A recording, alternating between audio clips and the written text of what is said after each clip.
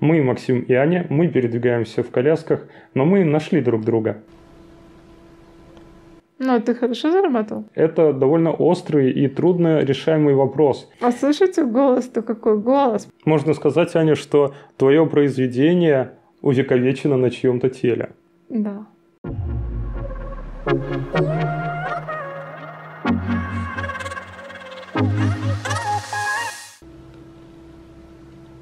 Утренняя зарисовка. Аня и Нифа принимают солнечные ванны. Ты снимаешь? Привет всем, это А плюс М. Мы, Максим и Аня, мы передвигаемся в колясках, но мы нашли друг друга. Это наш очередной влог. И если вы до сих пор на нас не подписаны, то обязательно нажмите кнопочку «Подписаться». В сегодняшнем влоге мы затронем тему инвалидов и работы. Какие вообще есть перспективы у инвалидов а, работать и что-то зарабатывать. И какой опыт у нас с Аней а, в этой области. А опыт у нас богатый, особенно у Максима. Не то чтобы такой уж прям богатый, да, но... Можно сказать, что разнообразный. Да. Конечно, всем известно, что в основном люди с инвалидностью живут на пенсию по инвалидности. С голоду не умрешь, но все-таки хочется же и иметь какую-то дополнительную прибыль или иметь больше прибыли и как-то, опять же, самореализоваться. И даже если у тебя есть э, какое-то образование, есть профессия, все равно тебе сложно с этим образованием пристроиться, если ты инвалид. Вот у Максима, например, юридическое образование. Да, э, я юрист, но, э, конечно, успешный юрист должен все-таки э, ходить, должен свободно перемещаться. Например, если ты хочешь быть адвокатом, то ты обязан просто быть постоянно на ногах, быть мобильным. А иметь работу дома как юрист это сложно, потому что в основном же все юридические компании находятся в офисах, базируются в офисах, и это не так-то просто. А, кстати, о нашем образовании мы говорили в другом нашем ролике. Посмотреть его вы можете, а, ссылка вверху экрана. Но все-таки существуют же сайты, где можно работать, будучи юристом, консультировать людей онлайн. Да, но такие сайты, они в основном, в основном э, создают люди, которые сами же на них и работают. Mm. И да, есть еще э, биржи, ну, например, для тех же юристов. То есть это биржа, где ты можешь зарегистрироваться либо как юрист, либо как клиент и предоставлять э, услуги. Но опять же, везде своя конкуренция. Э, не так просто где-то начать, вклиниться, а особенно без опыта работы. И вообще вопрос работы на дому – это довольно острый и трудно решаемый вопрос а, не только для инвалидов, но и вообще для любых людей, потому что сейчас у всех есть компьютеры, у всех есть доступ в интернет и очень-очень высокая конкуренция и э, в этой сфере тоже. Люди часто любят а, вспоминать о том, как они заработали свои самые первые деньги – Аня, ты помнишь, как ты заработала свои самые первые деньги? Я думала, ты сейчас скажешь, любить вспоминать о том, как заработали свой первый миллион. Ну, а первые деньги, да, я помню четко этот момент. Э, у меня была выставка в художественной школе, точнее, в Доме творчества. А, и там еще были мои детские работы, мне было, наверное, лет 12. И одну мою работу э, купила а, женщина со своей внучкой за 50 гривен. И э, мы ее спросили, почему вы решили купить у меня работу. Э, ну, почему э, только у меня? Там это была выставка без цели продаж, это просто были детские рисунки. Но она сказала, что я вижу в этой девушке потенциал, и я знаю, что она станет известной художницей и она как в воду глядела. Это была очень проницательная женщина. Возможно. А я вот не помню, а, как я заработал свои самые первые в жизни деньги. Не знаю, мне кажется, это было что-то типа а, набрал для кого-то текст или а, какую-то страницу с визитками для кого-то э, сделал и распечатал, наверное, что-то такое. Но я хорошо помню свой первый регулярный заработок. Э, это было, когда у меня появился компьютер.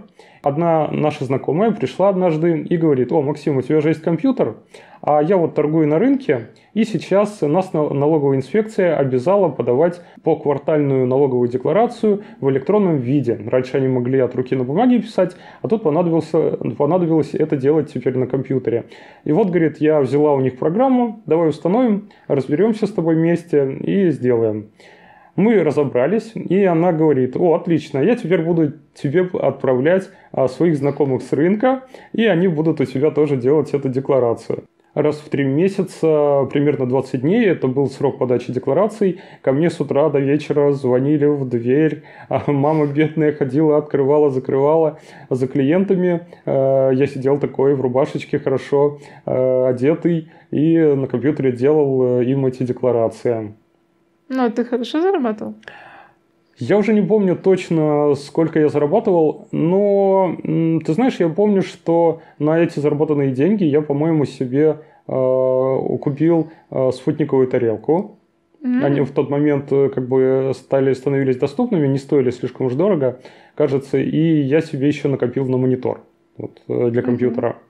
Но этот э, заработок э, через какое-то время прекратился, потому что налоговая декларация а, стала лицензировать э, точки сдачи этих данных, и там что-то они начали с передачей через интернет. В общем, а, получилось, что я не мог уже больше этим заниматься. Спустя некоторое время у меня появился следующий регулярный заработок. А, это было онлайн-радио. А, которым я увлекся, онлайн-радио а, по теме одной компьютерной игры. Более подробно я об этом рассказываю в нашем предыдущем влоге про наше увлечение. Можете посмотреть, ссылка вверху экрана.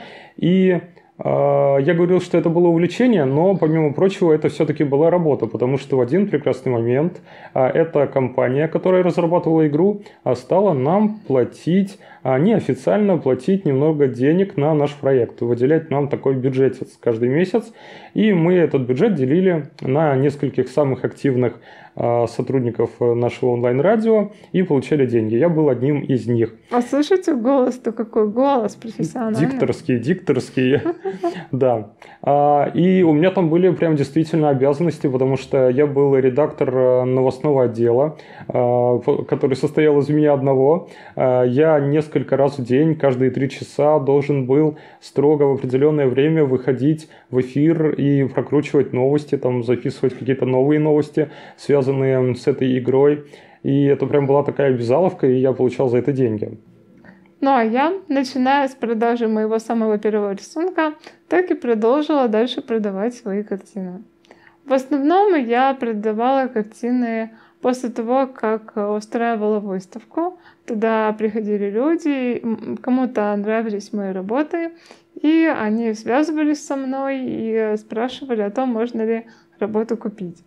Ну и также я выполняла заказы. А так у тебя, кстати, образовывались постоянные клиенты. Да, э, благодаря этому у меня сейчас есть несколько постоянных клиентов, и это очень важно для художника иметь таких клиентов, потому что а, ну вот есть у меня одна женщина, а, которая купила у меня четыре картины еще даже до того, как я устроила свою предыдущую выставку. И это очень здорово получилось, потому что на выставке, к сожалению, я продала потом только всего лишь еще одну работу и все. Помимо работы дома, мне посчастливилось а, также поработать и в офисе, скажем так, да, то есть ходить на работу, как все, грубо говоря. А, как это получилось? А, дело в том, что в один прекрасный день мне позвонили из э, социальной защиты и сказали, что а, сейчас идет программа доступной среды, выделяют деньги на трудоустройство инвалидов, причем на трудоустройство именно инвалидов-колясочников. То есть тех, э, о ком раньше вообще не думали и даже не рассматривали таких людей, как э, людей, способных работать э, вместе с другими людьми. Ну, это в России. Да, это происходило в России. Я жил тогда в небольшом поселке. Сказали, ты, Максим, у нас один из самых таких активных колясочников тут, а не хочешь ли работать? И тут я понял, что я вообще-то всегда об этом мечтал. Я просто мечтал, что мне в один прекрасный день так вот скажут, а не хочешь к нам пойти а, именно работать как колясочник? Я согласен. И тем более, что это было по профессии. Да, причем по профессии. Я, конечно, согласился. Меня приняли на небольшое предприятие. Э, это был наш дом быта местный. А, и меня туда взяли юристом, э, делопроизводителем. Кажется, так у меня называлась а, моя должность. А, государство выделило деньги этому предприятию на то, чтобы там все для меня оборудовали. Там сделали удобный пологий пандус на главном входе. Они специально для меня выделили кабинет, полностью сделали там ремонт, поставили стол, компьютер. И я стал ездить, э, ходить на эту работу сам э, каждый день буквально. Э, это происходило так. Я в теплый сезон от своего дома. Меня папа сажал на мою электроколяску. И я сам с утра ехал на работу, заезжал на предприятие, открывал своим ключом свой кабинет и работал. Потом точно так же возвращался домой в обед. И зимой меня на работу возил папа. И э, там я занимался ну, всякой разной работой. Это была не только работа по юридической специальности, хотя и по ней тоже. Ну и, в принципе, э, приходила э, главный бухгалтер предприятия, моя непосредственная начальница, и говорила, так, Максим, вот тут вот набери, сделай такую таблицу, набери такой текст, и я сидел, работал. Не скажу, что это было слишком уж интересно, потому что я в основном просто сидел один в кабинете, э, очень часто работы не было, я скучал. Вот. Но э, я очень горд тем, что я поучаствовал э, в таком именно эксперименте, да, в социальном эксперименте. И в моем поселке все увидели, что действительно инвалидам можно трудоустроить. Вот. И, да, это очень важно. И это работает, и это как бы меняет стереотипы людей. Я думаю, что многие люди не понимают, что работа для инвалида, для его мироощущения тоже очень важна. И не только для мироощущения. Мне кажется, что а, думают, что инвалидам нужно не так много денег, как здоровому человеку. Хотя это понятие ошибочно. Даже у меня было много случаев, когда Люди думали, что если я инвалид, то я должна дешевле продавать картины очень дешево.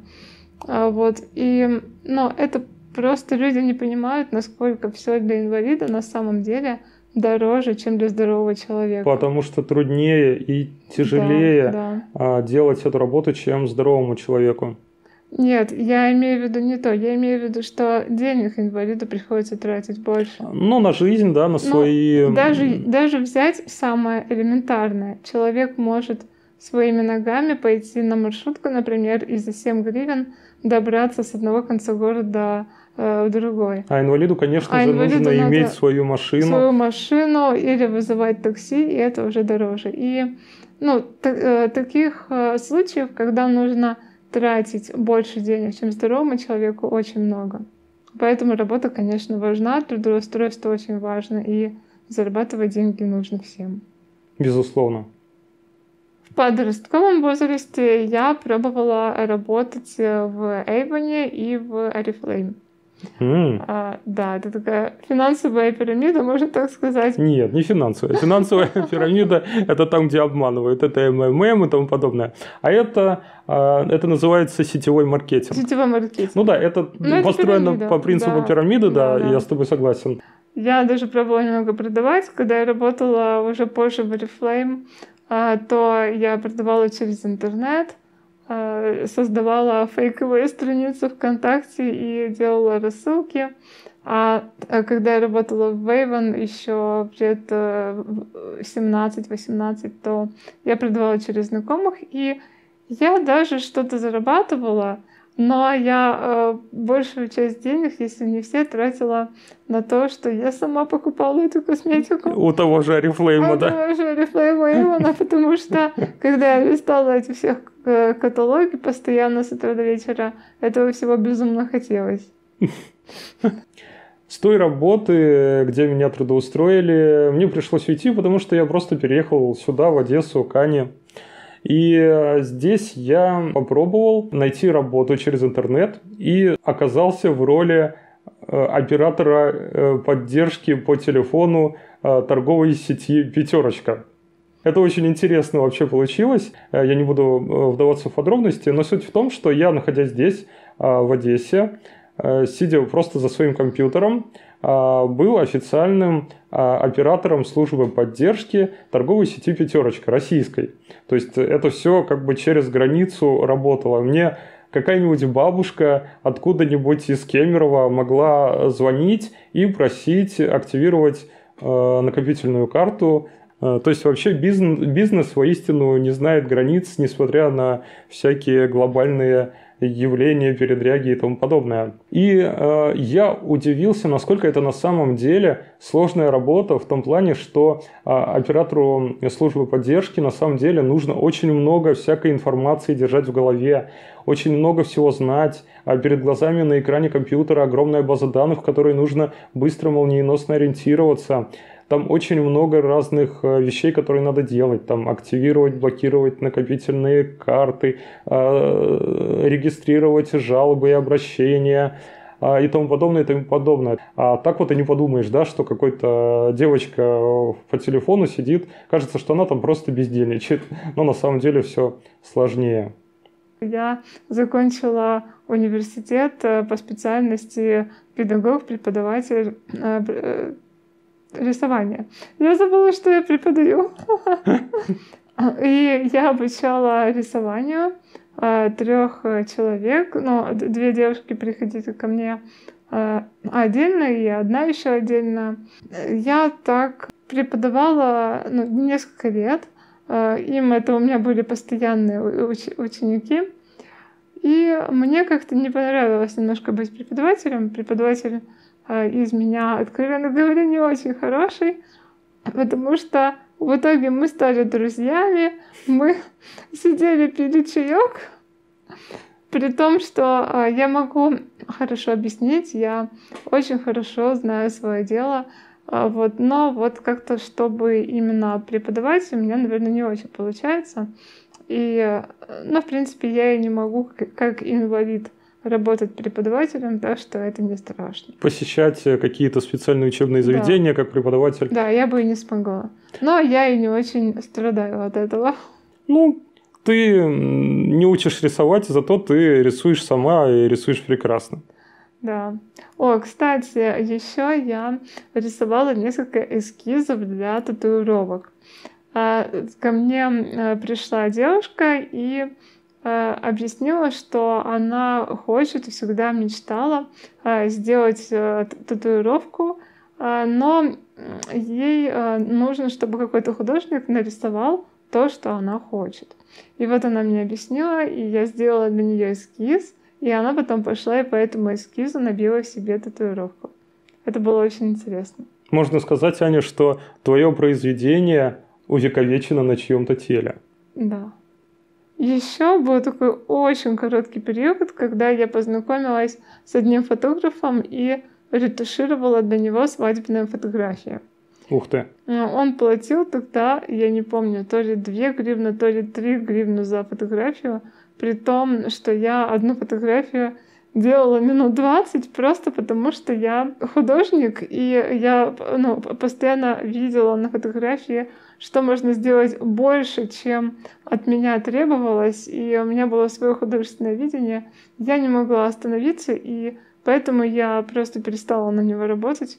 И вообще я поняла, что компьютер немножко не для меня. У меня слишком глаза от этого болят, и мне нравится рисовать руками. Ну да. А к слову о преподавании, а ведь я же и сейчас э, преподаватель, потому что, а, как мы говорили в нашем э, новогоднем э, ролике о планах и итогах, ссылка вверху экрана, как обычно, я обучаю английскому как репетитор одного ученика, школьника. И сейчас во время карантина мы с ним занимаемся через Skype. Ну и также ты забыл рассказать про свою самую важную работу. Да, а моя самая главная а, профессия и самая важная работа а, заключается в том, что я являюсь арт-менеджером художественного бренда Анна Ли. Да, Максим — это моя правая рука. Он э, все для меня делает, э, не считая рисования. Я рисую, а он делает все остальное. И э, выставки, которые мы проводили в этом году, это все только благодаря его работе. Спасибо. А, кстати, э, наши выставки тоже есть у нас на канале, мы их снимали. Э, тоже можете посмотреть, ссылка наверху. Подведя итог, можно сказать, что с одной стороны, а, инвалидам сложно конкурировать э, со здоровыми людьми на рынке труда, а, сложно устроиться где-то на обычную работу. С другой стороны, как э, видите по нашему с Аней примеру, сидя дома, также есть целый диапазон возможностей как-то зарабатывать, что-то делать. Поэтому тут а, остается только найти свое дело и постараться, чтобы оно приносило деньги. Пишите в комментарии, кем вы работаете, кем бы вы хотели работать, вашу работу мечты.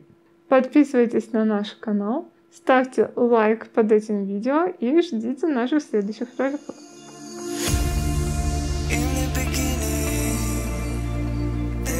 time